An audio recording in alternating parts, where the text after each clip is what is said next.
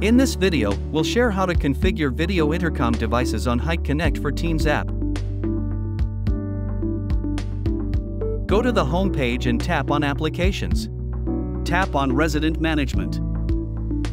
Enter the resident information. Select Gender. Select Validity Period. Enter the resident's email address. Tap Select.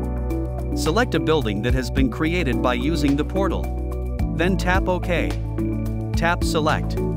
Select a room that has been created in the building. Select Person Identity. Choose the identity as family member or householder. Tap here and you can choose to take photo or upload from album. Tap Add Card and choose to add by card number or add by device. Once PIN code is enabled, residents can use the generated PIN code to open the door.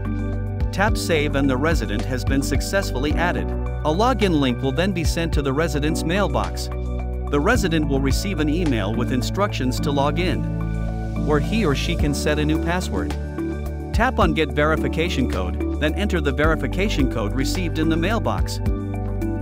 After reading and ticking the terms of service and privacy policies, tap on Register. If the Hik-Connect app is not installed, users will be redirected to the download page. If it is installed, they can directly log in. Enter the password in Tap Login. Receive an invitation to join the team. Tick the terms of service and tap to accept. Tap to start.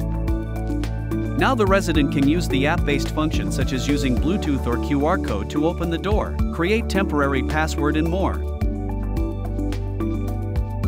Tap on Applications. Tap Add Temporary Pass. Enter the name. Tap to select. Select the corresponding access level and tap OK. Tap here to choose how many times it is allowed to be used. Tap here to select the affected date. Select the end date. Tap Generate.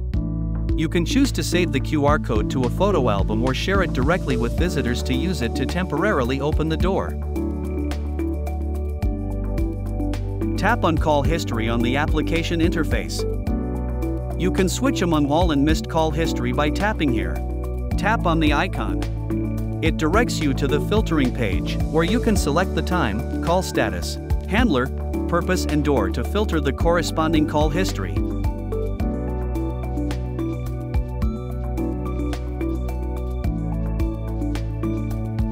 Hik-Connect for Teams, connected security, ready to go.